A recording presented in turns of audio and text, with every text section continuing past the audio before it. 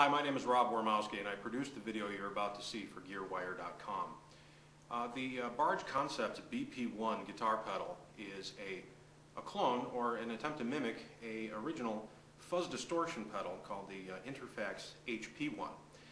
Now the HP1 has been in use for years by a guitarist uh, by the name of Steve Albini, a Chicago-based guitarist and studio owner. And uh, I knew this, and so I contacted Steve to see if he would be interested in comparing the BP1 clone to the HP1 original, which he agreed to do, and that's exactly what we did. Now, one thing I want to make sure everybody understands is we got uh, different results that Steve got when we tested the BP1 ourselves under different conditions with different guitars and different, uh, different gain structure and amplifiers.